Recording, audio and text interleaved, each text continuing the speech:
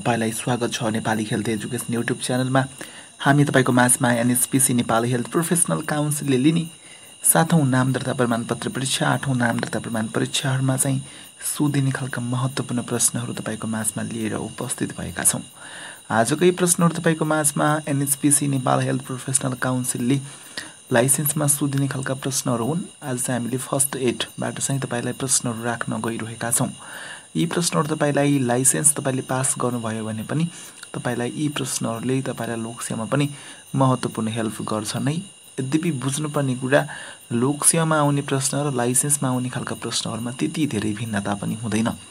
त्यो कारणले गर्दा लाइसेन्समा तपाईँले पढ्नुभएका प्रश्नहरू तपाईँलाई लोकसेवामा पनि एकदमै हेल्प गर्न सक्छन्।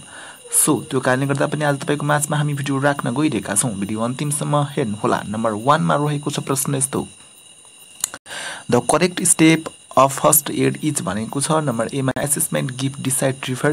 बीमा डिसाइड एसेसमेन्ट गिभ रिफर। सीमा डिसाइड गिभ एसेसमेन्ट रिफर। डीमा एसेसमेन्ट डिसाइड गिभ रिफर भनेको छ।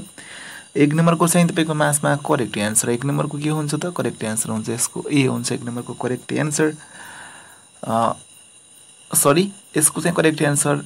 एक नम्बरको चाहिँ करेक्ट एन्सर तपाईँको मासमा the correct steps of first aid is भन्यो भने एसेसमेन्ट डिसाइड गिफ्ट रिफर चाहिँ करेक्ट एन्सर हुन्छ अप्सन हुन्छ यसको डी चाहिँ करेक्ट एन्सर हो। यसै रहेको छ तपाईँको माझमा नम्बर दुई रहेको छ। तपाईँको माझमा नम्बर दुई नम्बरको प्रश्न यस्तो रहेको छ।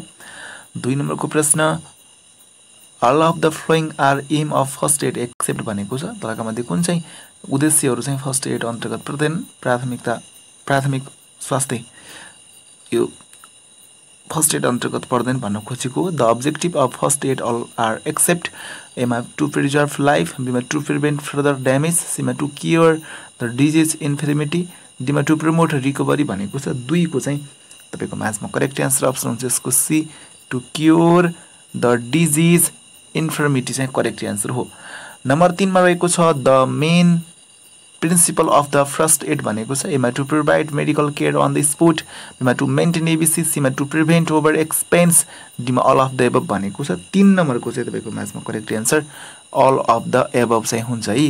The main principle of the first aid all of the above number चारमा रहेको छ first aid is based on the principle of भनेको छ? Medicine surgery both on of the above none of the above भनेको छ? First aid is based on the principles of भने पनि correct answer चार नम्बरको चाहिँ तपाईँको म्याचमा करेक्ट एन्सर चाहिँ करेक्ट एन्सर पक्क पनि सी हुन्छ both of the above first aid भन्ने बित्तिकै first aid is based on the knowledge of the biology medicine and surgery it can be a life saving skill भन्ने चाहिँ हुन्छ। तपाईँले चाहिँ अब हामी पाँच नम्बरको तर्फ जान्छौँ पाँच नम्बरको प्रश्न यसको रहेको छ तपाईँको माझमा।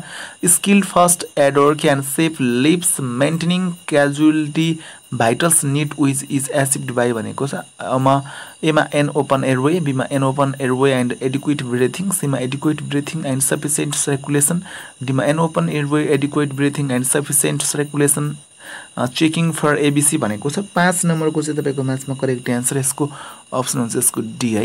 And open airway adequate breathing and sufficient circulation example checking of ABC number रहेको छ छ नम्बरको प्रश्न यस्तो रहेको छ तपाईँको म्याचमा छ नम्बरको प्रश्न to identify the vital needs of the casualty ABC the rule should be followed which means an open airway, adequate breathing and sufficient circulation. The airway is opened by भनेको छ एमा flexing the head towards the chest बेमा tilting tilting the head and fitting lifting the chin सीमा tilting the head laterally डिमा compressing the chest भनेको छ नम्बरमा चाहिँ यसको अप्सन हुन्छ beef tilting the head and lifting the chin यहाँ करेक्ट एन्सर हो।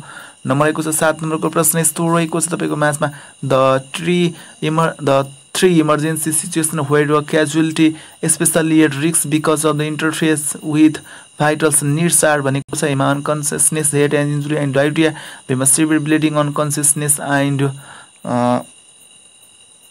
fracture born and unconsciousness डिमा lack of heartbeat or breathing uh, severe bleeding and a state of unconsciousness भनेको छ सातको पनि तपाईँको माझमा।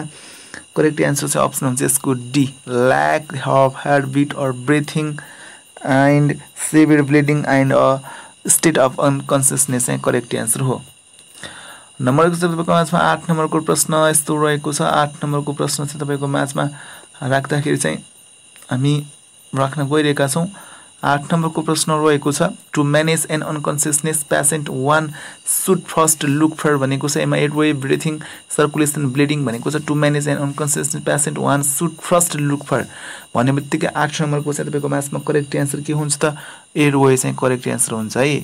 टु म्यानेज अनकन्सियसनेस पेसेन्टलाई चाहिँ सुड फर्स्ट लुकमा चाहिँ फर्स्टचोटि के हेर्नुपर्छ भनेको वे चाहिँ तपाईँले हेर्नु पऱ्यो नम्बर नौमा रहेको छ an unconsciousness patient can be manage by using gravitational force choose the correct statement भनेको छ एमा keep the patient lying flat बेमा keep the patient in sitting position Seema keep the legs over the pillow and head below keep the head over the pillow and legs below भनेको छ नौ नम्बरको चाहिँ तपाईँको म्याथमा करेक्ट एन्सर अप्सन हुन्छ C keep the legs over the pillow and head below चाहिँ correct answer हो नम्बर रहेको छ दसमा फर्स्ट एड म्यानेज मिन्स भनेको छ एमा treatment given to the victim on the spot with all medical facilities भनेको छ। बिमा treatment given on the spot immediately before advanced medical or surgical facilities सिमा try to carry out necessary action by expert immediately Dima all of the above भनेको छ। दस नम्बरको चाहिँ तपाईँको म्याचमा करेक्ट एन्सर दसको चाहिँ अप्सन हुन्छ यसको B treatment given on the spot immediately before advanced medical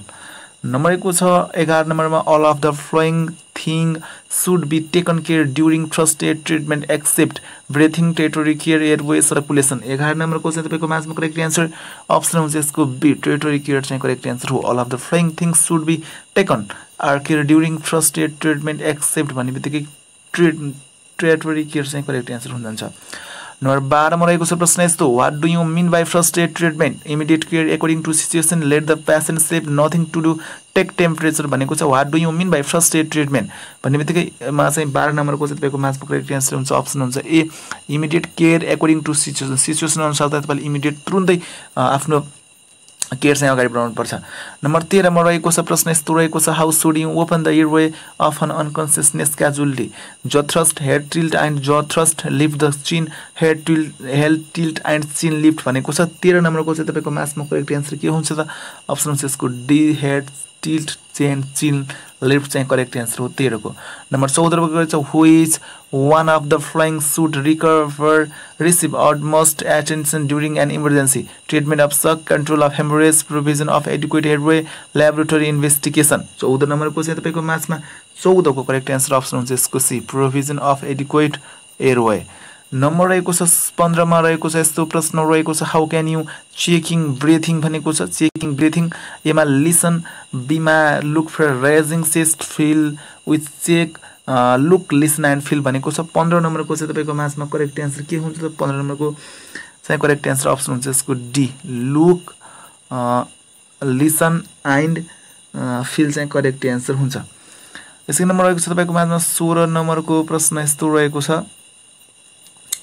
सोह्र नम्बरको प्रश्न यस्तो रहेको छ तपाईँको माझमा। सोह्र नम्बरको what are the first aiders it could be भनेको छ। अप्सन एमा रहेको छ तपाईँको म्याचमा अप्सन एमा रहेको छ medical person non medical person layman all of the above भनेको छ। सोह्र नम्बरको चाहिँ तपाईँको म्याचमा करेक्ट एन्सर यसको अप्सन हुन्छ D all of the above number सत्रमा रहेको छ explain the acronym ABC use during first aid procedures भनेको चाहिँ एडवे ब्रिथिङ कार्डिक बिमा एसेसमेन्ट ब्रिथिङ सर्कुलेसन सिमा एडवे बडी चेक कार्डिक डिमा एडवे ब्रिथिङ सर्कुलेसन सत्रको चाहिँ तपाईँको मासमा करेक्ट एन्सर के हुन्छ त? सत्र नम्बरको चाहिँ करेक्ट एन्सर अप्सन हुन्छ डी एडवे ब्रिथिङ सर्कुलेसन चाहिँ एबिसी नम्बर एकको छ अठार नम्बरको प्रश्न यस्तो रहेको छ।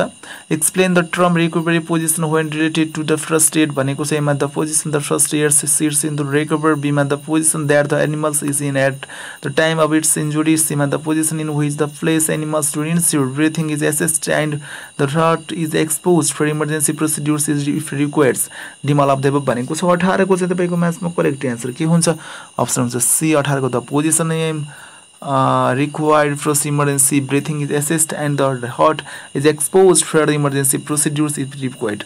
Number एकको छ उन्नाइस नम्बरको प्रश्न यस्तो रहेको छ तपाईँको म्याथमा identify the type of the problem that blue mucus membranes might indicates भनेको चाहिँ एमा ल्याक अफ फुड बिमा रोलिङ इन ब्लु पेन्ट सीमा ल्याक अफ वाटर डिमा ल्याक अफ अक्सिजन उन्नाइसको चाहिँ तपाईँको म्याथमा करेक्ट एन्सर अप्सन हुन्छ यसको डी ल्याक अफ अक्सिजन चाहिँ करेक्ट एन्सर उन्नाइसको हुन्छ डी नम्बर छ बिस नम्बरको प्रश्न यस्तो रहेको छ तपाईँको माझमा a cat has jump down from a fence and injury self so that it is bleeding from it is a femoral vein identify the severity of the injury in terms of the first aid treatment भनेको चाहिँ एमा very severe requires immediate treatment बिमा severe requires action to be taken with one hour सिरियसमा requires action to be taken with four hours major requires action to be taken with hour twenty four hours भनेको छ बिस नम्बरको चाहिँ तपाईँको माझमा correct answer के हुन्छ त बिस नम्बरको चाहिँ तपाईँको माझमा करेक्ट एन्सर अप्सन हुन्छ A very severe requires immediate treatment चाहिँ करेक्ट एन्सर हो.